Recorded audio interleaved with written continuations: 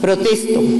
Guardar y hacer guardar la Constitución política de los Estados Unidos mexicanos, la Constitución política del Estado libre y soberano de México, las leyes que de una y otra emanan y desempeñar leal y patrióticamente el cargo de gobernadora que el pueblo me ha conferido, mirando por sobre todo por el bien y prosperidad.